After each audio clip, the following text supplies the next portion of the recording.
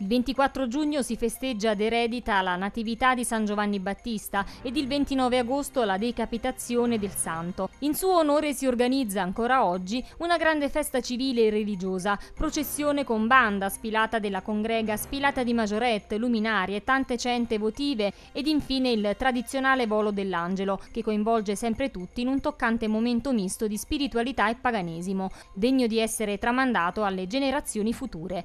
L'angelo, un bambino di circa 8 anni, sospeso ad una robusta fune su cui scorre una carrucola alla quale è agganciato, percorre una trentina di metri in una strettoia. Giunto in prossimità della statua del santo, intona un cantico di nove quartine che ricorda la vita del santo, poi accompagnato dal suono festoso delle campane della banda, scompare. In programma per la festività del Santo Patrono il concerto di Alan Sorrenti che si terrà ad Eredita, frazione di Ogliastro Cilento, questa sera.